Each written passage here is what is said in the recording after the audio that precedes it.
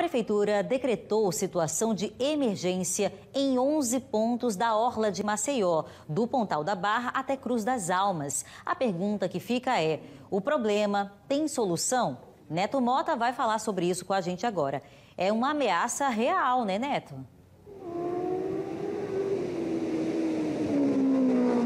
Certeza, Bia, e esse decreto de situação de emergência, por causa dos 11 pontos da Orla de Maceió que apresentam esse problema de erosão, foi publicado hoje no Diário Oficial do município de Maceió. Segundo a Prefeitura, a Secretaria Municipal de Infraestrutura já estuda com o Instituto do Meio Ambiente de Alagoas as licenças ambientais para as obras emergenciais que devem começar nesses trechos. Eu estou, inclusive, em um deles agora, a gente fala aqui ao vivo da Jatiuca, e o que a gente presta atenção é que a erosão, nesse ponto que eu estou aqui, que o José Pereira está mostrando, está chegando bem próxima de um dos bancos de cimentos que foram colocados para que a população, maceioenses e turistas, pudessem passar por aqui. É uma situação que, para quem passa regularmente, para quem faz exercício, por exemplo, aqui na Orla da Capital, já se acostumou a ver, mas tem muita gente que não sabia, Bia, que já era uma situação muito grave ao ponto da Prefeitura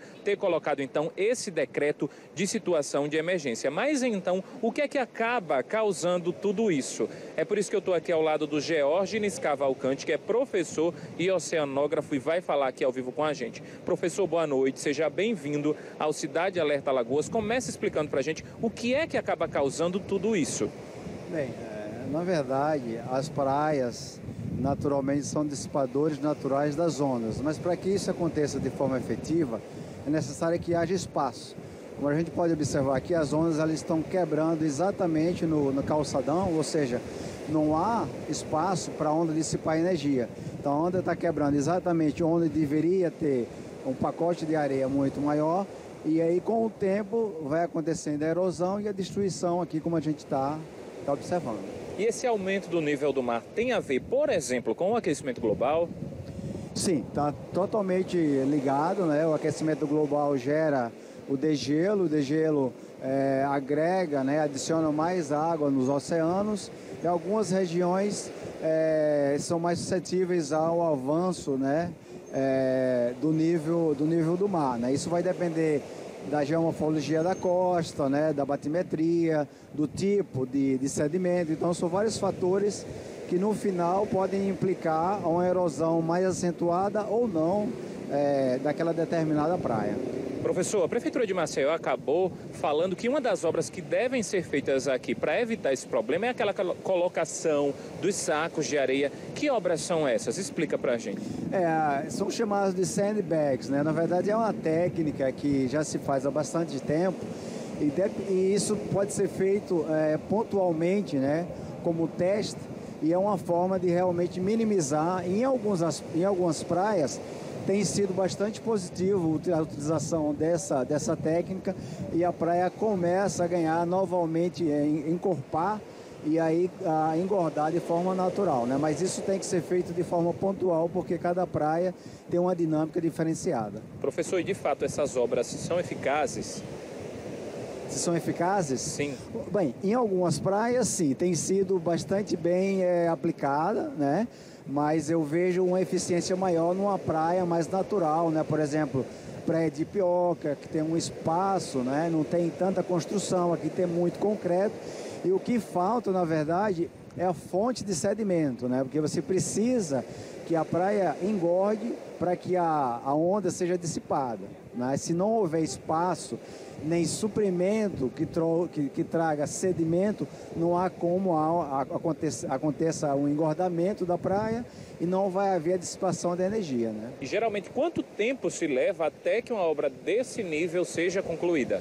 Olha, na verdade, é, isso vai levar alguns meses, né? Porque é, não é só você simplesmente despejar os sacos, você precisa realmente agregá-los de forma que eles simplesmente não é, se dispersem. Né? Então é um processo é, que requer alguns meses né? e feito de forma é, setorizada.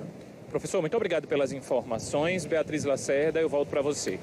Obrigada, Neto, por esse esclarecimento, até para que a população possa entender o que está acontecendo aqui né, na orla da cidade, um trecho tão importante para Maceió. É essa orla né, tão bonita que atrai milhares de turistas a cada ano. Maceió, aliás, o estado de Alagoas que se destaca nacionalmente por essa beleza e pela atração dos turistas, que só cresce, né, sobretudo depois da pandemia. Então é de preocupar saber que estamos em situação de emergência, porque 11 pontos estão no nível crítico né, de possível erosão, processo que já se iniciou iniciou. A Prefeitura, claro, através de obras eh, e ações da Seminfra, tem colocado aí bags, né, sacos cheios de areia, alguns enterrados ao longo da orla para tentar dissipar essa energia das ondas no vai e vem, essas ondas que levam e trazem os sedimentos, a areia, tudo isso que favorece, acelera o processo de erosão. Está aí, então, o oceanógrafo explicando que é um processo irreversível e tem que fazer isso mesmo. São essas barreiras. A gente espera que isso possa atrasar né, o máximo possível, porque não é uma realidade só aqui em Maceió. Isso é um problema mundial, né? A elevação do nível do mar, a ocupação uh, também nesse trecho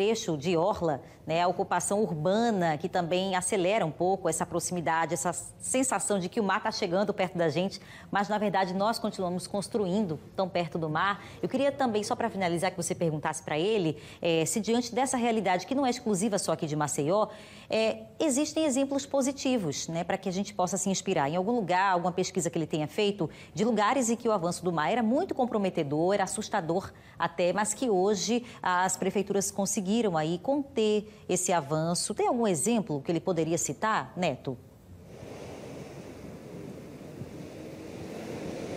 A Beatriz Lacerda, nossa apresentadora, está perguntando ao professor lá no estúdio se tem algum exemplo positivo que já aconteceu no Brasil em relação a essa mesma situação em outra cidade que possa ser destacado.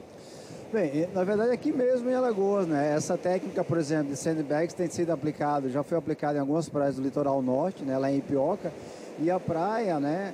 É, naturalmente, é, esse tipo de concretação não é a mesma coisa que acontece lá na praia de Ipioca, mas o, a técnica utilizada lá teve realmente uma, uma resposta bem positiva da praia, né? Isso pode ser que, é, que essa técnica aqui venha a ser é, ter uma resposta positiva aqui da praia, né? Mas tem que ser realmente é, feita a, a obra e monitorada constantemente para ver se realmente está dando resultado. Obrigada, viu, por essas explicações, então, professor, dizendo que aqui em Maceió mesmo a gente tem, né, um exemplo tão de perto. Vamos torcer para que essas ondas né, sejam cada vez mais contidas por esses big bags ou sandbags, enfim, existem várias técnicas para isso, mas é a nossa obrigação acompanhar o que, que o poder público tem feito, né, o que, que a Seminfra tem feito em parceria com o Instituto do Meio Ambiente para retardar um processo que é irreversível, que é em todo mundo o avanço do nível do mar. Preocupante, né, minha gente?